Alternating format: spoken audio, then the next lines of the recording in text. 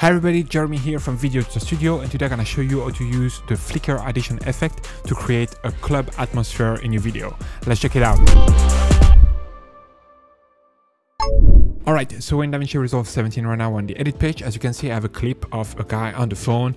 Uh, it's a music video that we shot a couple of weeks ago with a friend. And basically right now we wanted to create it, um, the vibe that is in the club. So we just use a red light and now I would like to make it flicker a little bit to make it a bit more interesting.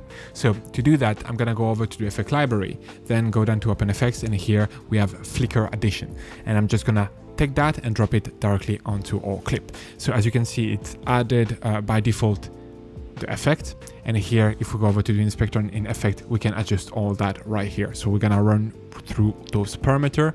Uh, quick warning, if you're epileptic, uh, be careful because the light gonna change uh, very, very uh, quickly and suddenly in this video. So just be aware of it and click off if you're uh, epileptic or subject to epilepsy. So basically you can change the range, which is uh, basically the contrast between the white and the black. So here, as you can see, uh, it's not so much. And here, if we bring it all the way up, um, when it's black, it's very black and when it's white it's very white. So that's just uh, changing the contrast ratio. Um, so right here for like a club vibe if we want something that is more aggressive we can turn it all the way up and it gives us a very aggressive uh, change of light uh, and it can be definitely a look that you're looking for. For this one we're just gonna just drag it a little bit down. You can change also the speed and have something that change very very quickly or a bit slower and for this one we're just gonna go a bit slower and here we have something that I'm quite happy about.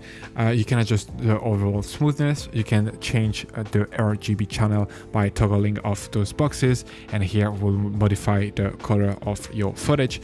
If you want to have some break uh, during the change of the flicker, you can uh, change the randomness scale. You can change the pose of the length. You can change the pose interval, the pose randomness and random seed. Right now we're trying to recreate a club atmosphere, but you can also use the flicker addition uh, to recreate the light that came from a candle or uh, from a chimney, for example, if you want to have um, that effect where the light is changing randomly um, because it comes from a natural source like fire, uh, it's a very, very good way to do it. Uh, you just drag that onto your clip. Uh, if you add like a constant source uh, and you want to make it a bit more random, definitely use that effect. It will help you to achieve that look. And that's pretty much it. I hope this video was helpful. Don't forget to like and subscribe and see you in the next one.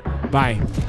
Speed up your workflow and create better videos using the pack available on our website, including titles, transition and templates, but only for DaVinci Resolve. Get started today by downloading our free starter pack containing a compilation of 20 titles curated from our library. Link in description below or at videoeditorstudio.com.